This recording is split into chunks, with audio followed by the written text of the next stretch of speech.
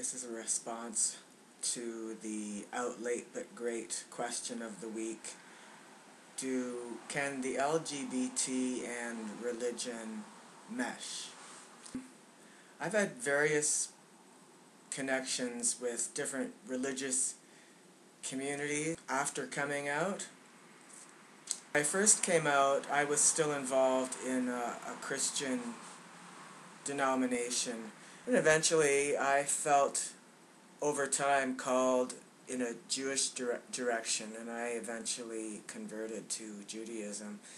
Um, but what, what I didn't want is I didn't want to have to waste a lot of time figuring out, okay, who is going to be homophobic, and why bother starting off at a synagogue if I already know it's going to be homophobic.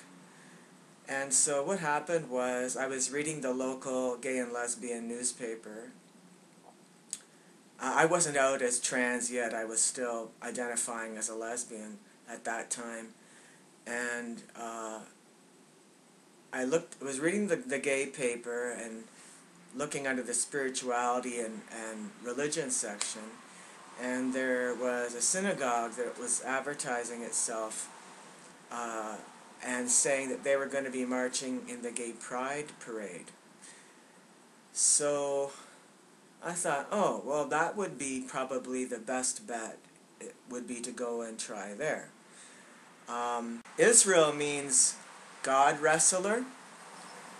So definitely, when we read Torah, we're doing a lot of wrestling Scripture, I mean, there are, of course, we, several of us have already mentioned it. There's specific passages in uh, the Torah in uh, that mention the abominations, right? Now, the Jewish faith, it doesn't consist only of the Torah, the written Torah, which is what uh, Sydney was holding up, that purple book. We actually have those in our synagogue.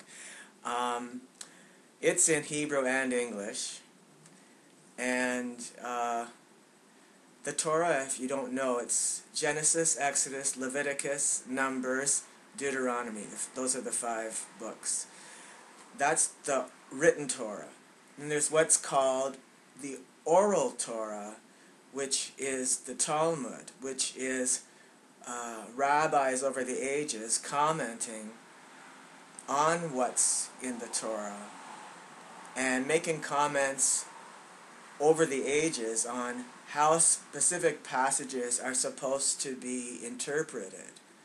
Um, the thing about stoning stoning your son if he's being rebellious, well, the rabbis wrote down they didn't really think that that had ever been carried out. They didn't really feel like many of the things that were written down were actually carried out in the manner that they were written down perhaps the, some of them were written down for emphasis. um, it's hard to say. None of us were there, right? But at least those rabbis that came later were were not interpreting them in that strict sense. But I think going back to the question, um, can can the LGBT and religion mesh? And again, my answer is well, it depends. I know a guy who is, uh, I think is um, the Canadian equivalent of Episcopalian. Um, and he has, we've had some discussions, and it's been very interesting the things he's, we've talked about. And um, yeah, he, uh, he insists on his right to be a fully participating member and to sit right up at the front. Uh, one of the things he said to me was, you know, he goes by the motto of never relinquish your space, which is, I think, a very interesting concept to uh, to wrestle with. Um, he's talking about being a gay Christian. The synagogue I go to um, there are gay people, um, open, openly gay people. There's one uh, married lesbian couple, for example. Just a little while ago, there was a, a queer potluck. Religion and the LGBT can mix. And it depends on the denomination of the religion you're practicing. And often it can really depend on the actual congregation of the denomination of the religion you're practicing.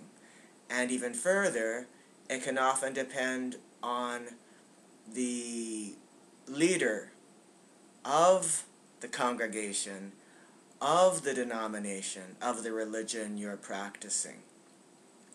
Can, can you pray away the gay? You can try, but I think you'd be wasting your time, personally. Uh, a number of us have prayed. Um, and you know what? I don't know if I actually prayed to have it taken away.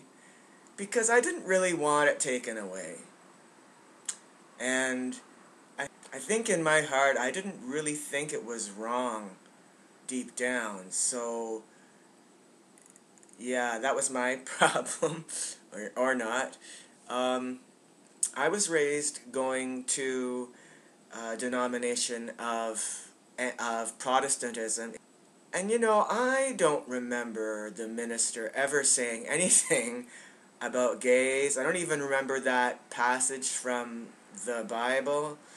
Um, so it kind of brings up the question, okay, well, why are these other guys talking about it? and it's and I do agree with um, guess a few people on here have said that if a if a minister himself or a preacher himself is struggling with his sexuality and feeling guilty about it, and then it's him that's or her tends to be the guys uh, who picks out that piece from Levit Leviticus and is preaching at others how it's wrong. Um, the first time I ever heard it coming from uh, the United Church, from a, a pulpit, was I think in the early early 80s. And the preacher was saying that uh, gays in the ministry was just plain wrong. And this was a guy who I thought was more liberal, so it really disappointed me. Um, and I wonder also, I, am well, I'm guessing it was coming up for the vote at the uh, national level, and this is why maybe we were hearing about it. Uh, when I came, I came out of the closet in the mid '80s as a lesbian, believe it or not. Uh,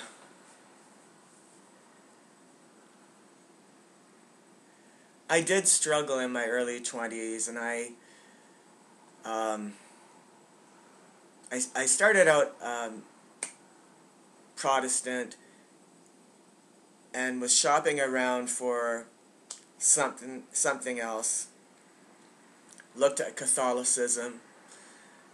And I remember uh, I was involved in a 12-step program in my most of my 20s, and uh, some of you might know that step four is you write an inventory of the things you think you've done wrong or you're worried about or make you feel guilty or you resentments you have against people you write all that down and the idea is that these things might be keeping you in the behavior or the addiction it's um, so, and then you, you give it, you, you read it to somebody.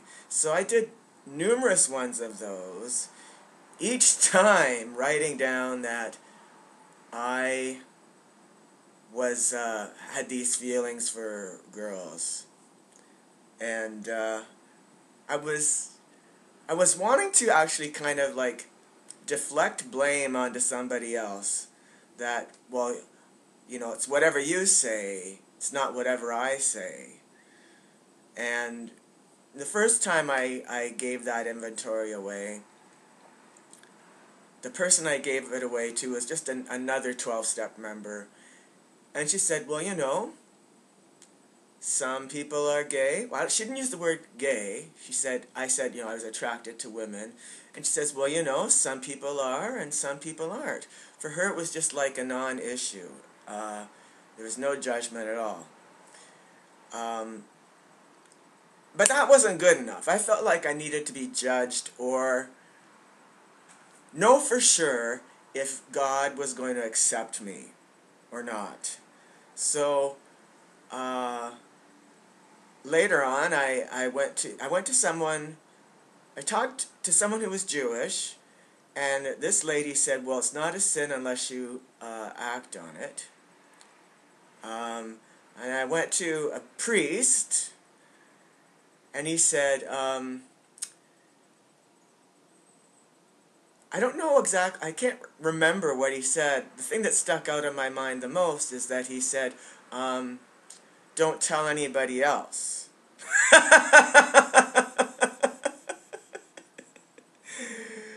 so um, it showed his bias. Uh, and then I was thinking of converting to Catholicism, so I ended up uh, talking to another person who was actually a, a professor at the um, Catholic college at that university. And he said, um, Look, if you're gay, personally, I don't have any problem with it. But you have to decide that you don't have a problem with it. And I think that was in 1986. Yeah, it was. And uh, I think that was the year I gave up trying to get outside approval from a religious authority. Oh yeah, I went to my first men's Torah study last Friday. First ever. So I'm very happy about that. Anyway, Hope you're having a nice afternoon or morning or winter, as the case may be. I'll sign off for now. So long.